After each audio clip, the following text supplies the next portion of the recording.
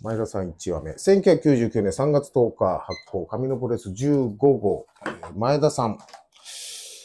えー1.4次編、証言ファイルとしまして、前田明さんの証言ファイルを振り返りたいと思います。ラジオ感覚でお聞きください。じゃあよろしくお願いします。よろしくお願いします。これ前田さんどうして一番最後になったんですかね？ページの編成では一番最初に載ってるんですけども。そうですね。まあ、これ前田さんで、その次に、まあ、三沢さんだったり、安城さん、井上編集長、ターザン山本さんですけど、大体順番通りにやってったと思うんですけど、いや、前田さんは、時間をちょっとしっかり取ろうということで、なるほど。一番最後に。避けていたわけじゃないんですよね。あ、そこを言いたかったんいや別にそういうわけではないんですけれども、もうそのね、変なこう、ひりピリピリするようなこと言わないでください。もピリピリしますか？ういや、やっぱりメインエベーターですから。僕になるほ。ど。前田明ははいメインエベーターですから。タイトルがですね、はい。タイトルというかキャッチですね。うん。あれはね、なんちゃってシュートの試合だよ。なるほど。ん。なんちゃってシュート。うんもう早速読んでいきますね。はい。もうあれはね、なんちゃってシュートの試合だよ。シュートか何なのかもわかんない試合してる。ああいう試合で大騒ぎするんだったら、俺らの世代では当たり前のようにあったやんけ。でも今はいいけど、ああいう試合が定期的になったと考えてみ人間飽きるのも早いんだよ。飽きてつまらなく感じ出したら見やしないよ。うん。なんかね、あの一戦の裏では陰謀がどうのこうの言うけどね、うん。猪木さんも佐山も思いつきで言える人間だから何も考えてないと思うよ。うん。あの二人は似た者同士だよ。うん。俺は天才だって信じてる人たちだからね。うん。天才は忘れた頃にやってくるもんだよ。これはダジャレです。うん。うん。天才は忘れた頃にやってくる。うん天才っていうのはあの、ジニアスの天才のことを言ってるんですけども、はい災害の天才、天才は忘れた頃にやってくるにかけてるということ分かってま すよね。そうですよね。はい。さあ、ここまででいかがですか？僕ははい、ああ、わかりました。はい。はい。ここまで。ちょっとうなずいてるところが見受けらああ、れます。なるほど。あの、うんああいう試合が定期的になったと考えてみ。うん人間飽きるのも早いんで、うん飽きてつまら、つまらなく感じたら見やしない。うんなるほど。ここがちょっとどういうことかなっていう。まあ、あの、ああいう試合っていうのはそういう、えー1.4次編の、こう、なんちゃって、前田さん曰く、前田さん、えーなんちゃってシュートの試合が定期的になったら考えてみっていうことですよね。まあ、あればっかり見せられたら、うんそれはそれで飽きられるよとう、いう。意味も含んでの話だとは思うんですけれども、うんうんうんここは引っかかりますよ。どういうことなんだろうな。まあ、ああいう試合、まあ、1.4次編的な試合が、定期的になったら、も面白いような気はするんですけどね、僕は。見てる人がですよ。やる選手は大変ですけど。ですから、その試合のクオリティっていう意味で言うと、うん。どこに重点を置いて見てるかっていう話確かですよね。にそうですね。うん。いわゆる全日本の、この当時の全日本の四天王プロレス的なものを求めてる人からすれば、うんこのなんちゃってシュート系の試合、なんちゃってシュート系っていうまとめ方は良くないかもしれないですけど、尻切れトンボ的な、うん。うん。シュートであろうが、シュートじゃなかろうが、うん。こういうもやっとしたような試合は求めてないよっていううん。うん。人もたくさんいるそっかそっか。でしょうし。終わり方ですね。うん要するに。はい試合の終わり、1.4次編の橋本小川戦は、うん。終わり方がちょっと尻切れとも。はい。こういう試合が定期的になったらっていうこうんと。でそう例えば前田さんの試合で言うと、うんまあ、前田対アンドレだったりとか、うん。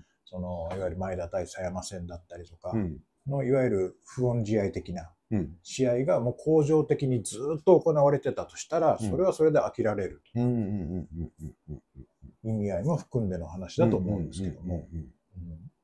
うん。なるほど。なんちゃってシュートっていうのはいいなんちゃってシシュートっていう言葉には何か感じるところはありますか？先に質問していいですか、はい逆に。はいなんちゃってシュートってなんか感じることありますか？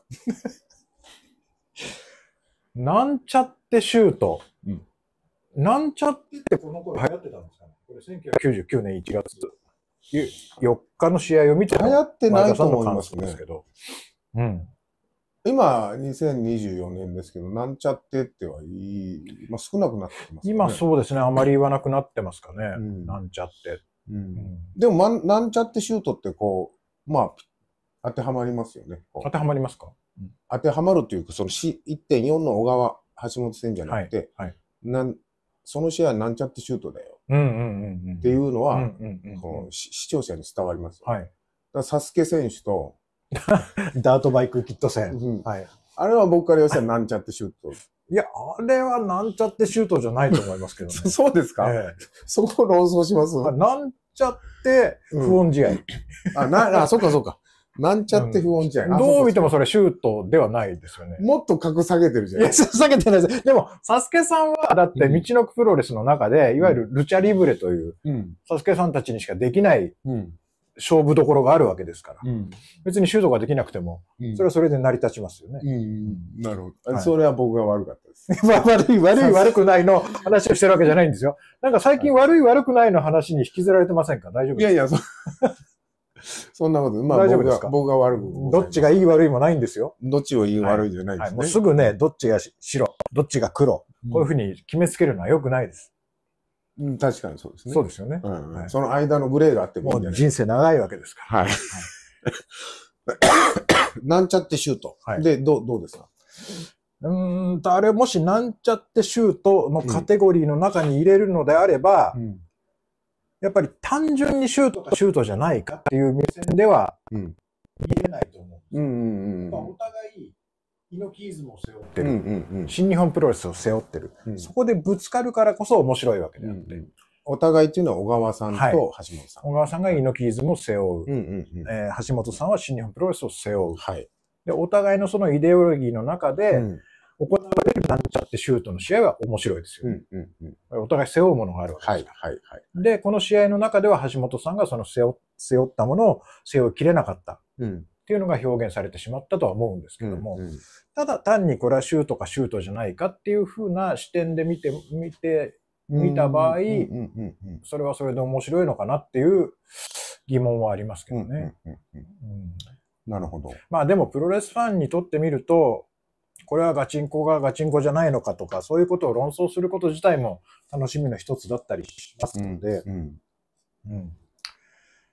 はい。なるほどね。んあのね、僕はね、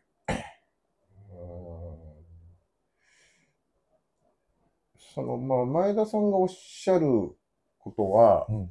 前田さんがそういう経験をされてるから、うん。あの、おっしゃれる資格はあると思うんですね。はい。で、でもちょっと、1.4は、なんだろうな、前、小川、橋本戦に関しては、どうなんだろうな。そうか。ちょっとなんか違う。うん。うーん。違うというのはどういうことですか、前田さんとアンドレ戦だったり、はい。前田さんと佐山戦だったり、それと比べて小川橋本戦は、なんかちょっと違うような気がするんですよね。あの、どうだろう。ちょっと今ごめんなさい。まと、まとめないで思いつきで喋ると、はい。前田佐山戦で言うと、やっぱりお互いがそういう武器を持ってる状況で、うん。えーもうここまでやったらいいだろうってうんうんあの、前田さんと佐山さんもあの不穏試合も、僕ね、二人ともね、抑えてたところあるんですよ。うん。ああいう不穏試合的なところで相手を潰しちゃおうっていう気持ちじゃなくて、うんあ、ここはこれ以上行ったらダメだなっていうのはうんうん理解して試合してるんですよ。僕が見る限りは。はいだ本当に潰そうと思うのは、例えば顔面があってそこを蹴り上げられるかどうか。でも、前田戦、前田佐山戦っていうのは、えーああいう実際、まあなんちゃってシュートじゃなくて、シュートの試合だったんですけど、それ以上にじゃあ顔がここにあったら、じゃあ前田さんは佐山さんの顔を蹴り上げられるのか？蹴らないと。佐山さんも前田さんの顔がここにあったら蹴らないと思うんです。でも、小川橋本戦は、えっ、と、小川さんが、橋本さんの顔がここにあったら小川さん蹴れると思うんですよね。うんうんうんだからそこのちょっと違いもあるような気がします。だからこれどっちが過激とかじゃなくて、はいはいはい。あの、前田さんと佐山さんは、やっぱり、えーそういう不穏試合ですけど、こう、自分の持ってる技術でやり合おう。うん。ただの喧嘩じゃない。うん。喧嘩マッチではないですよね。うん単なる喧嘩マッチではないね、喧嘩マッチに見えますけど、うん喧嘩だったらグーで殴っちゃうのが終わりな話なんで、だけどそこは二人は、その暗黙の了解でね、うんそのい、ここからここまでは超えなかった。うん。だけど過激な試合はしてますよ。はい。すごく。はい。だけど小川橋本戦は僕はちょっと一個線は超えてるんじゃないうかな。ん、なるほどね。うん、思います。ああ、言わんとしてることはわかります。うん前田佐山戦はやっぱり紙一重ですよね。はい。表に転がるか裏に転がるか。でも、裏には転がせない、転がさないようにしつつ、うんもう結果、試合は成立しなかったけれども。うん。あのね、なんとなくね、二人は試合を成立させ、成立しなかったんですけど、やっぱどっかでね、うんその新日本プロレスのさせなければならないという意識はあったんですあありましたよ。その中で前田さんはずんずんずんずんと前に進んでいき、佐山さんは防御しながらも、えー隙を見せないよううんにしていたし、その緊迫感がはい、ありましたね。面白いんでしょうね。うん今見ても緊迫感がつ伝わってくるという。うんただ田村さんが今おっしゃったように、うん小川さんだけが橋本さんの顔面を蹴れる状況。うんこの状況を生んだのはじゃあ一体何だったんだっていう推察が成り立ちますよね。なんで橋本さんは蹴れなかったんだっていう。なるほど、うんそこ行きますか。それはどういうことなんだろうっていうことも含んでの一これ、点ですからごめんなさいね。僕、はい、あの、今、思いつきの例え話ですから、はい、全然。小川さんが実際蹴れるかどうかは、小川さんの心境はちょっと置いていて、はい私の推察ですけど、うんえー小川さんは蹴れるんじゃないかなってうんいうふうにうんうん思う。はいはいはい。まあ実際、頭を踏んづけましたからね。小川さんはあ。うんで、肩を怪我させちゃったじゃないですか。はいあれは、どうなんだよ。あ、やっちゃった感ってあったんですかね。小川さんの中で。あ、やっちゃったっていう。ここまで痛めるうん、まあ、肩外れる。まあこの1.4もうん実際行われたのは1999年なので、うんうんまあ今からも約25年前ですか。うんで、そこから、まあ、当の小川さん本人だったり、橋本さんだったり、猪木さんだったり、うん。あるいは前田さんも含めてね、その後、いろんな推察をしてみたり、振り返ってみたりしてるわけですよ。25年前の話です。よ。はい。でも、この、今読み上げてる前田さんのコメントっていうのは1999年のものなんですよね。うん。うん。で、その時の前田さんにとってみると、あれはなんちゃってシュートの試合だよ。うん。うん。うん。やっぱり前田明にとってみると、そのシュートの試合というのはうん違うレベルのものなんだという意識があったと思う。うんうんうんうんうん。だからまあ、なんちゃってシュートってご誤解されやすいですけど、でも、言葉のチョイスとしては、ぴったりはまりますね。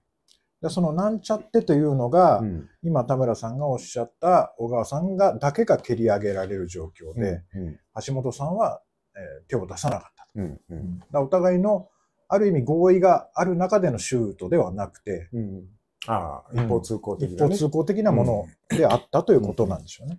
そう、だから、まあ、佐山さんと前田さんは、一方通行同士でこう、うん。反発はい、はい。し合ったので、だからそれはお互い技術を持ってたから、はいはい。しのげ、お互いしのげるという話ですよね。だから腕を折ってやろう、足を折ってやろうとか、そういう気持ちではやってないと思うんで、もう本当、こう、うん無制限のルール内で、難しい表現ですけど、うん無制限のルール内。難しいですね。ルールは持ってるんでも無制限なの。うん、なるほど。はい。はいうん。どうですか？もうこんな感じですか？もうちょっとどどんな感じですか？話します？えー、もう少しいきますか？もう少し。はい。あ、い、い、いや、次の話じゃなくて、この、なんちゃって周到枠、第1話の、はい、もう、これはこの辺でいいと思いますけども。一回切りましょうか、じゃあ。切りますか？だって15分ぐらい。ほんままだなってないですよ、タイムは。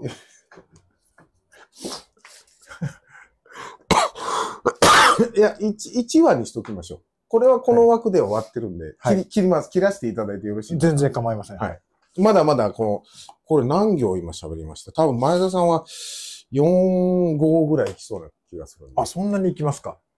いきそうな気がします。いきますか？はい。いきますかじゃあ一回切らせていただきます。ありまがとうます。だタイマー鳴ってないですよ。大丈夫です。ありがとうございます。いいんですか？もうこっちでは14分、15分近く言ってますから。切るなよ。なんですか？いいですよ。切るなよ。はい、まだ切ってませんよ。切るなよ。はい、切ってません。切るな。はい。切るなよ。